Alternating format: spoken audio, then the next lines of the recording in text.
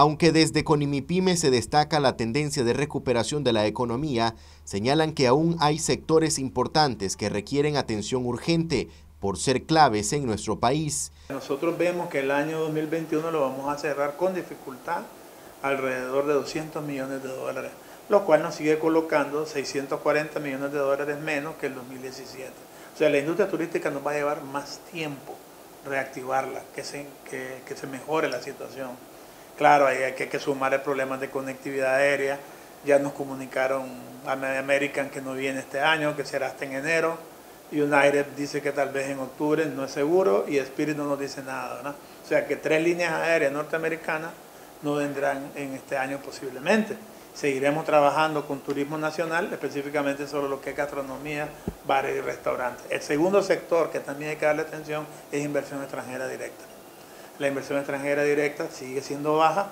Nosotros requerimos incrementarla por lo menos a 300 millones. Todavía estaríamos como 600 millones abajo de lo que teníamos en el 2017.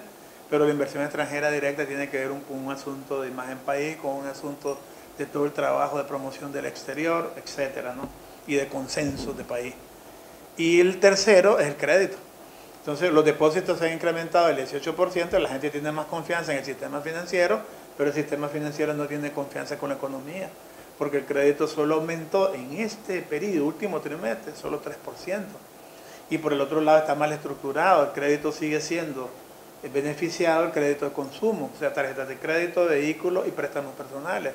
Torres considera necesario manejar por separado la agenda económica y política del país como un eje clave que permita estabilizar a Nicaragua ante crisis sociales como la ocurrida en 2018. Y yo lo planteé hace más de dos meses aquí en Nicaragua, en una entrevista en un medio de comunicación. La economía se ha desanclado, se ha desenganchado, decíamos nosotros, de la política. Nos dijeron que era locura, Jamás. Siempre los asuntos políticos afectan a la economía. Pues ahora la unidad de inteligencia, el Economy, dice, la economía en Nicaragua ¿verdad? está desconectada de los, de los aspectos políticos. Entonces, vaya, que la unidad del Economy, que es una institución seria, muy seria, ¿verdad? Eh, ratifique lo que nosotros hemos venido diciendo. O sea que aquí tenemos que manejar todas agendas paralelas.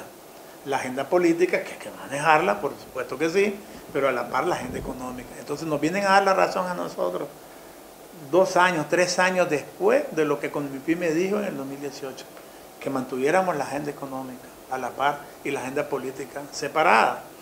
No es no atenderla, es manejarla de forma separada. Marcos Medina, Noticias 12.